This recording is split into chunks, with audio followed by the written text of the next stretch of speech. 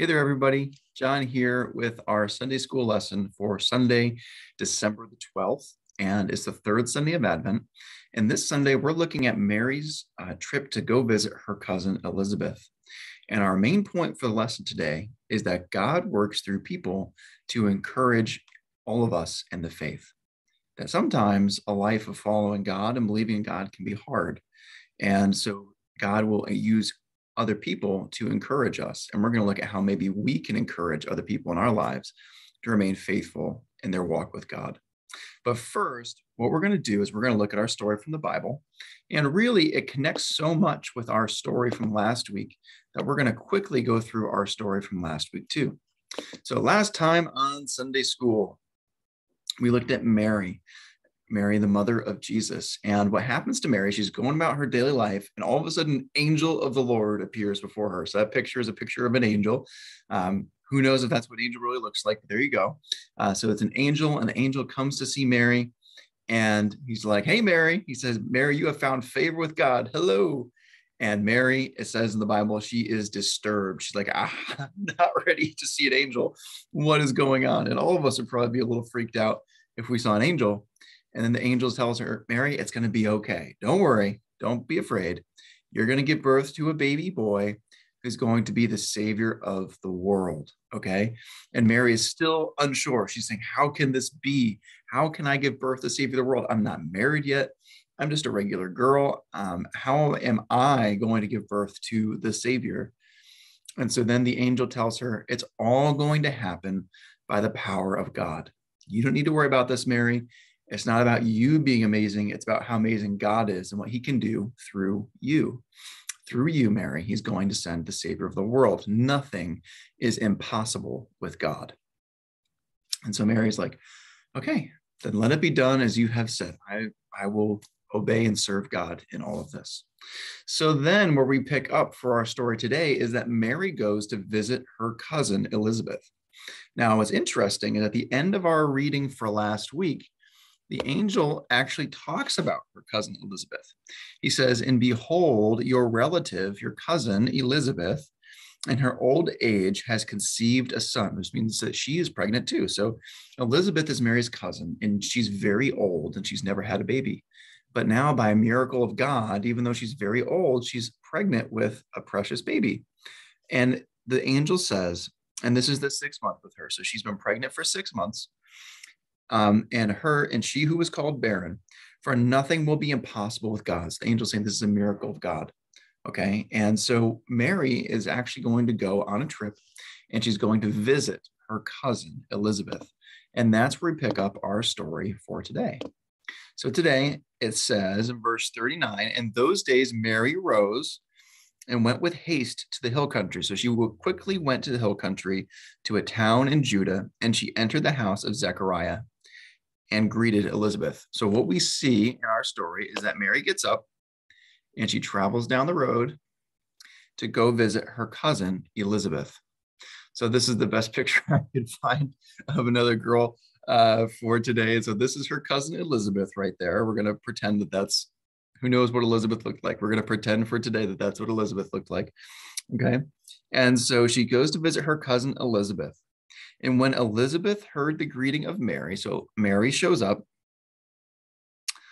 um, the baby leapt in her womb. So Elizabeth has a baby in her womb, and the baby leaps. The baby is actually John the Baptist, who would go and tell the whole world that the Savior had arrived. And so the baby senses the Savior is near. So even the baby is excited and leaps in Elizabeth's uh, tummy. And then also, Elizabeth was filled with the Holy Spirit and she exclaimed with a loud cry, Blessed are you among women, and blessed is the fruit of your womb. And why is this granted to me that the mother of my Lord should come to me? For behold, when the sound of your greeting came to my ears, the baby in my womb leapt for joy. And blessed is she who believed that there would be fulfillment of what was spoken to her from the Lord. So Elizabeth, that's that's an amazed face right there, right? Not a sad face, but an amazed face. So Mary arrives and the baby in, in Elizabeth's womb, by a miracle of God, senses that Jesus, the Savior of the world, is nearby. Even the baby in her tummy leaps for joy. The Holy Spirit, which is what the dove is a picture of, that It's a picture of a dove, which is a symbol of the Holy Spirit.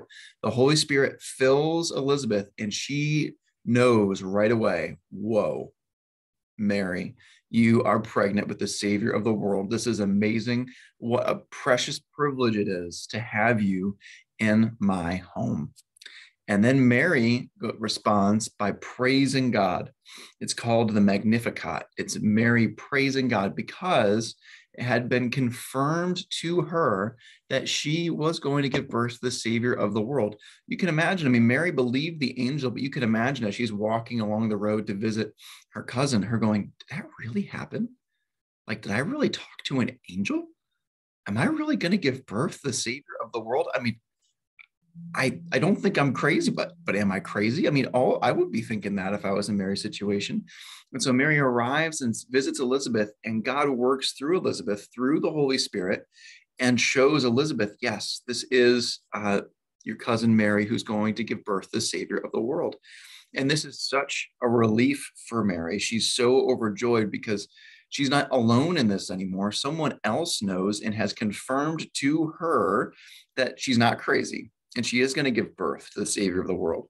And so then Mary bursts out in a song of praise. She's just so happy. Have you ever been so happy that you couldn't hold it in? And you're just like, yes, right? That's what Mary does, except she doesn't just say yes. She says, My soul magnifies the Lord, and my spirit rejoices in God, my Savior, for he has looked on the humble estate of his servant. For behold, from now on, all generations will call me blessed.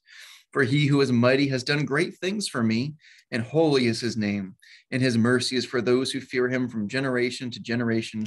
And he has shown strength with his arm. He has scattered the proud in the thoughts of their hearts, and brought down the mighty from their thrones, and humbled those of and exalted those of humble estate. He has filled the hungry with good things, and the rich he has sent away empty. He has helped his servant Israel in remembrance of his mercy, as he spoke to our fathers to Abraham and his offspring forever. So you might have been saying, that sounds nice, but I have no idea what, what was just said. There's a lot of big words in there and a lot of uh, talking about different parts of the Bible. What Mary is doing is she's just saying, yes, praise God. He has worked through me, this normal, ordinary girl, to give birth to the Savior of the whole world. That's what she's saying. And she's just so overjoyed, so encouraged by what God did through Elizabeth to confirm that she wasn't crazy. She's encouraged and overjoyed. So remember, our lesson for the day is that God works through people to encourage other people in their walk of faith because sometimes following God is hard. You know, we don't see God right in front of us. We don't talk to God like we would talk to a person sitting across from us. But nonetheless, we believe that God is real and he certainly, we can communicate with him through prayer and we can feel his presence. Um, but God works through other people to encourage us in the faith because, like I just said, sometimes believing in faith can be hard and difficult, especially on hard days. You can be thinking, now, where is God? I wonder, is all of this really, does all this Jesus stuff true? But God can work through even people like you and me to encourage our friends and family that yes, God is real and yes, God loves them too. And so, what I want us to think about for this week is how can God use you and I to encourage our friends and family in their walk of faith? Well, I have three little ideas for us of things you could practice. The first one is that you could just pray for your family. Pray that God will work through his Holy Spirit to reveal to them that he is real and that he loves them. The second is you could say a blessing at your at a mealtime with your family. You could say grace. I know my kids do this, and it is a real blessing to me to hear them pray in faith. It encourages my heart and my walk in faith as their parent. Third, you could just remind them that God loves them. It's such a sweet thing if, if your kids come up to you and say, Hey, mommy and daddy, God loves you and I love you too. That's a huge encouragement in the faith. And so you can do that for your parents, your, your brothers and sisters, those three things. They are things you could, simple things you could do. Pray for your family, say a, a blessing at a meal, and remind them that God loves them. So there's our lesson for this week. I hope you're encouraged in your faith and that God will work through you this week to encourage others as well. God bless you, and we'll see you next time.